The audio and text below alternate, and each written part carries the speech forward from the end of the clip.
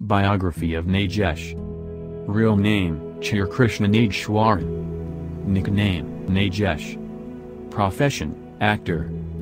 Date of birth, September 27, 1933 Age as in 2020, 75 Birthplace, Dharapuram, Coimbatore District, British India, now Tirupur District Tamil Nadu, India.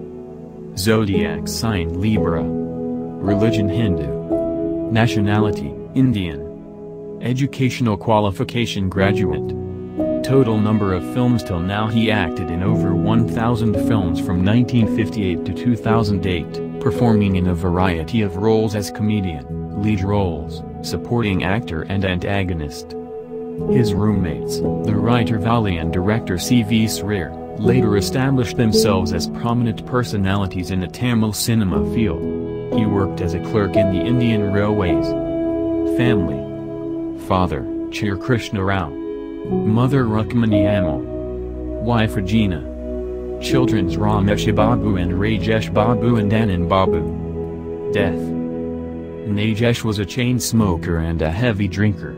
However, he gradually gave up these habits when he was dangerously ill during the late 1970s and early 1980s. His health began to decline in late 2008 due to progressive heart ailments. He died on January 31, 2009 at the age of 75 due to diabetes and a heart ailment.